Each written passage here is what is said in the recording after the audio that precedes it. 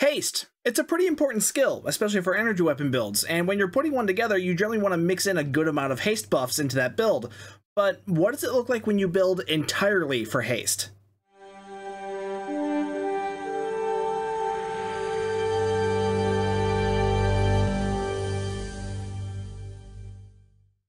The idea for this build was given to me by one of the members of the channel. The whole point of the build is to pack as much haste onto it as you possibly can. Haste is a very powerful stat for energy weapons, so obviously this is going to be a pretty good build, right? Well, we're going to find out, but first I'm going to go over the build and show you what's on here. The ship I chose for this build is the Eagle Pilot Raider, and the reason I chose this one is entirely because of the fact that it is a pilot ship, which means I'll be able to use Reroute Reserves to Weapons 3 on this. The only other reason I picked the Eagle is because it's currently the only pilot ship I have upgraded to Tier 6 X2. Really, you could do this build on pretty much any pilot ship. Another advantage to using the Eagle, though, is that it's a Raider, so most of its bridge officer seating is going to be universal, providing me a lot more flexibility there. Moving on to the build itself, most of the weapons I'm using on this thing are Viridian Plasma dual heavy cannons.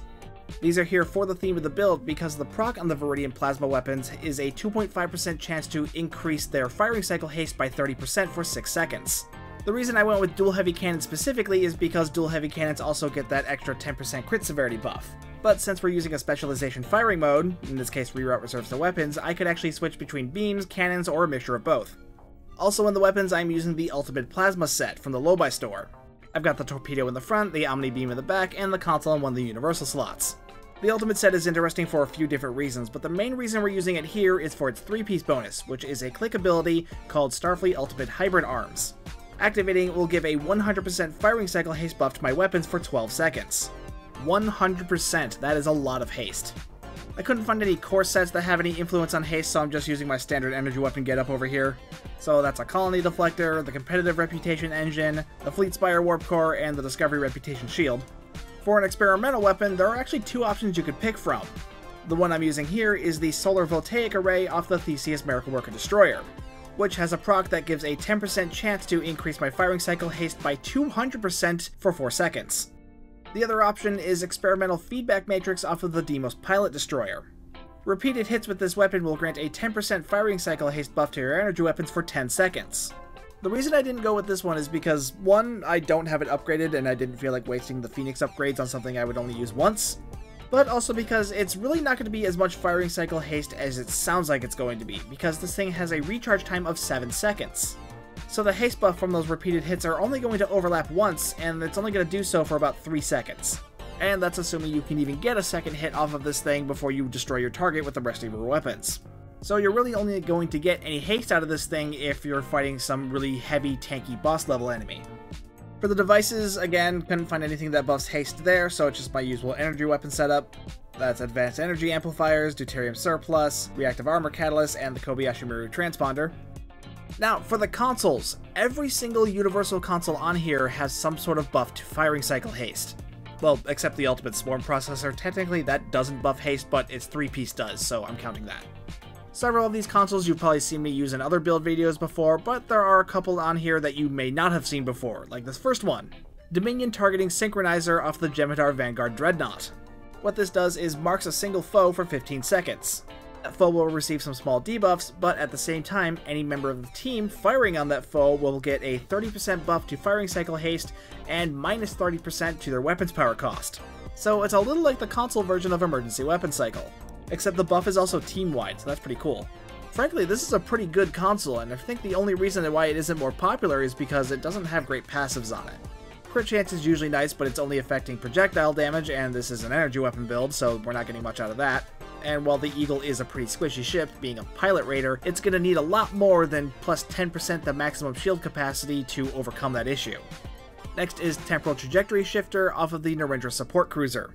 The way this one works is a little similar to the previous one in that it only works against a single target, but with this you're basically going to be siphoning firing cycle haste off of your enemy, as well as ability cooldowns and damage resistance rating.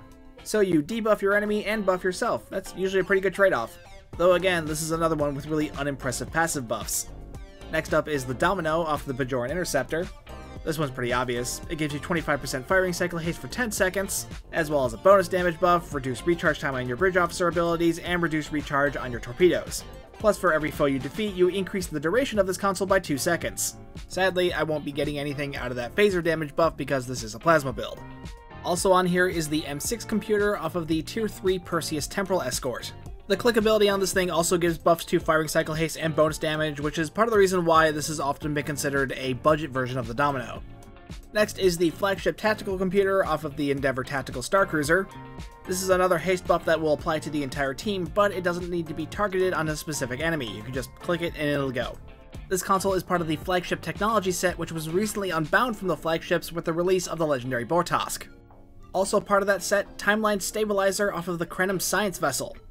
Activating this will give you a buff to Firing Cycle Haste and reduce the cooldowns of your Bridge Officer abilities, and your Captain's abilities, and it'll create a 4 kilometer sphere around your ship.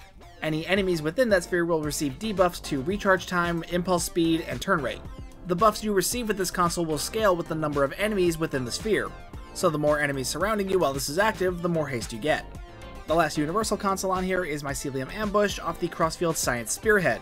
When you activate this console, it'll teleport you 8 kilometers forward, and then several things will happen.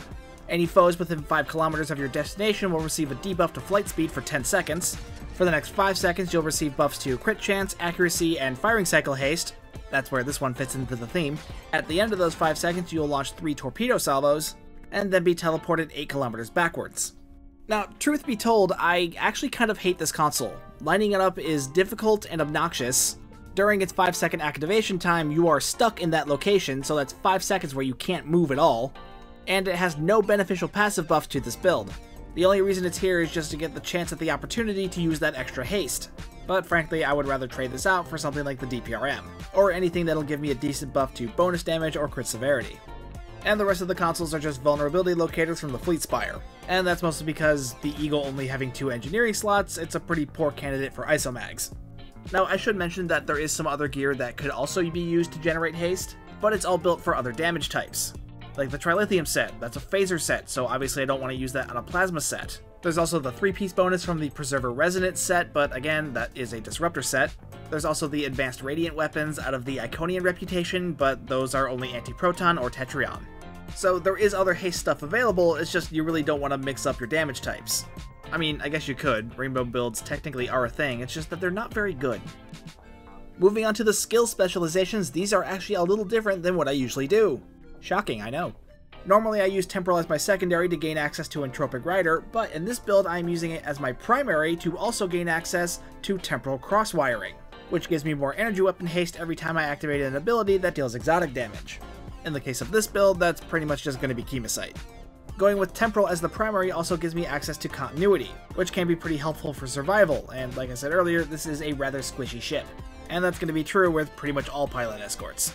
None of the other specialization trees offer anything for haste, so I just threw on Strategist as the secondary.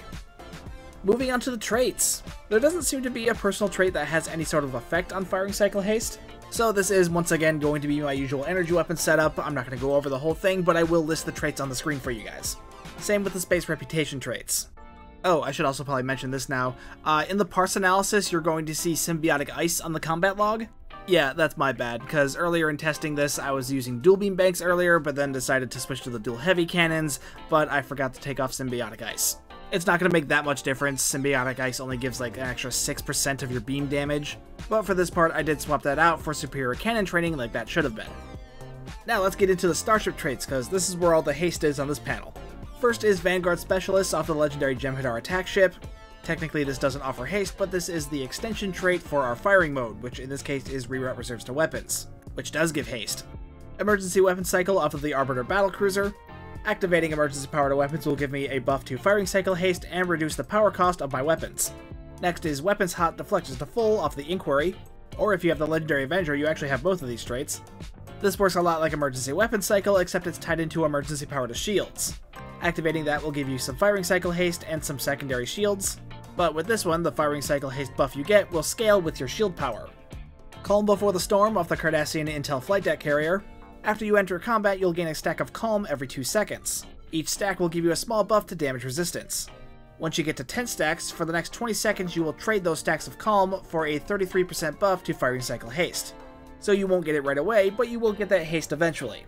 And it's worth the wait too, because this one has the highest haste buff of any of the other starship traits on here.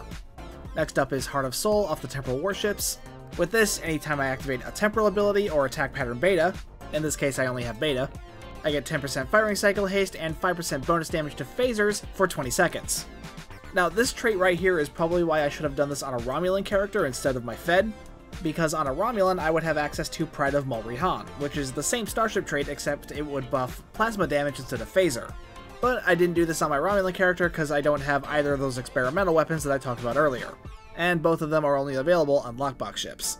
So I'm going to be missing out on that 5% bonus damage in this case, but at the same time, it's only 5%, it's not going to make a huge deal. Next is Terran Machinations of the Mirror Crossfield.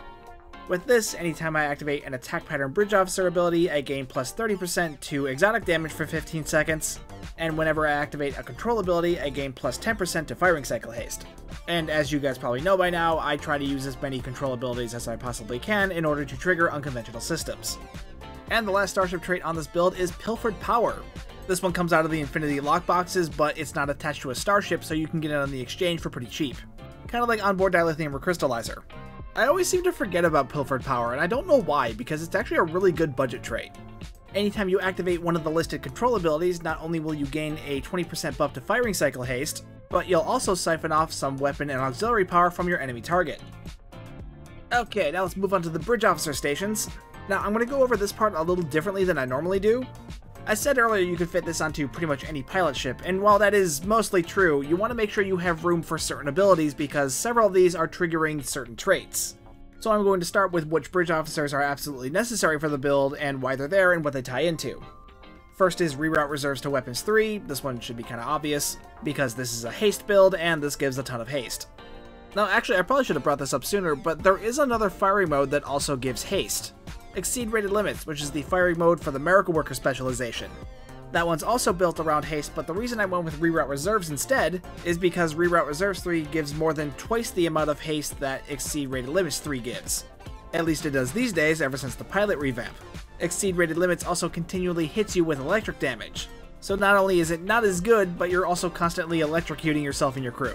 And that's why I went with a pilot ship instead of a Miracle Worker ship. Sorry for the small detour there, but anyway, back to the bridge officer seating.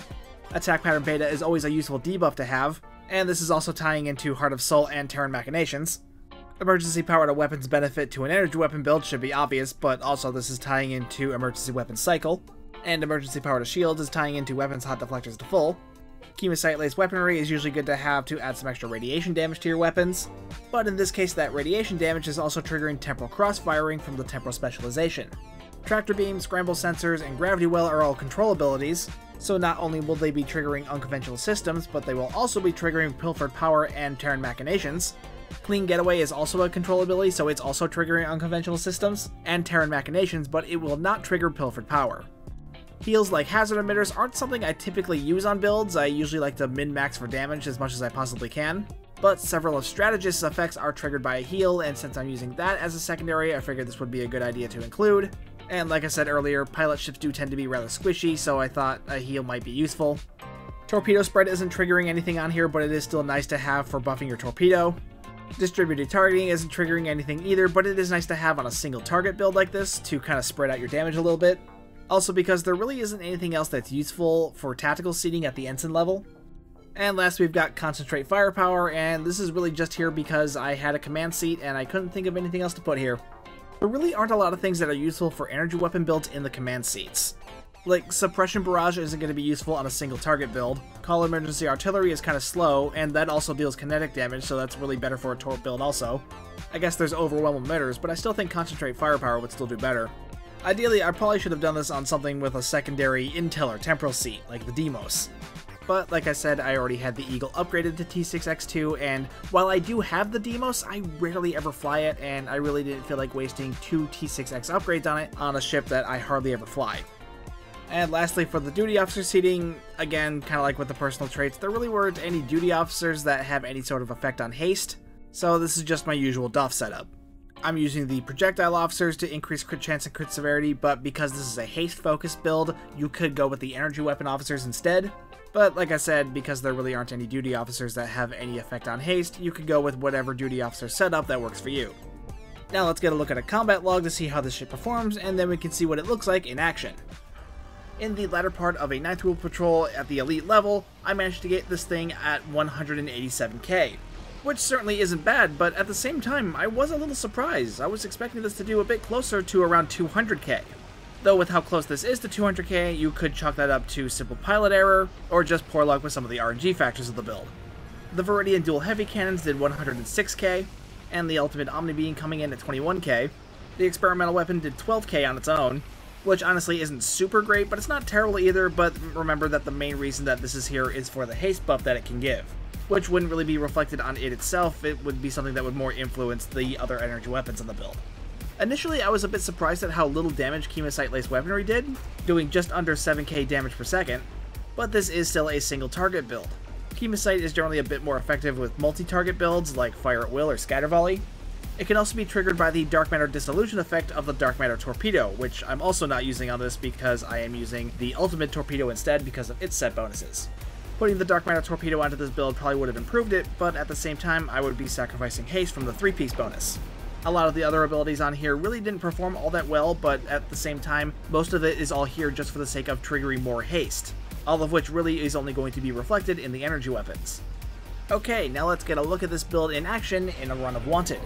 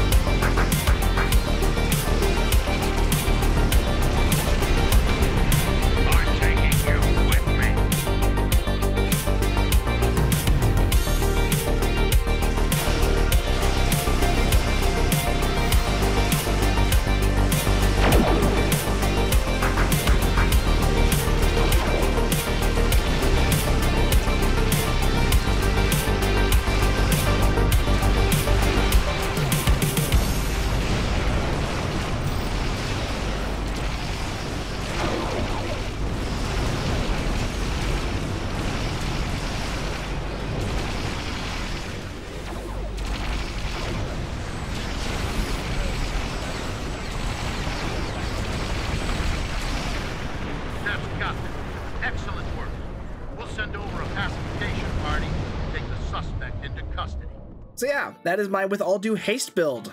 Like I said earlier, I wasn't that surprised with how well this was doing. I wasn't expecting it to do amazing, which, I mean, it, to be fair, it didn't do amazingly well compared to some other energy weapon builds I've done too, but it still did pretty well. And that's because haste is a very powerful skill for energy weapon builds, but at the same time, by focusing entirely on it, I was sacrificing other things I would normally mix into an energy weapon build, like certain bonus damage buffs or buffs to crit chance and crit severity but at the same time, it was an interesting theme, and it was a fun thing to play around with, and sometimes that's really all you need in a build. Anyway, let me know what you thought of this build down in the comments down below. Be sure to like and subscribe while you're down there and hit the bell for notifications. If you'd like to further support the channel, you can hit that join button to become a member, or hit the super thanks button, or find the link to the merch store in the video's description. If you're ever shopping on the Epic Game Store, be sure to use my content creator code STU1701. It doesn't cost you anything extra, but it does help me out. That is Epic Creator Code STU1701. Either way though, thank you so much for watching. My name's Stu, and I will see you guys next time.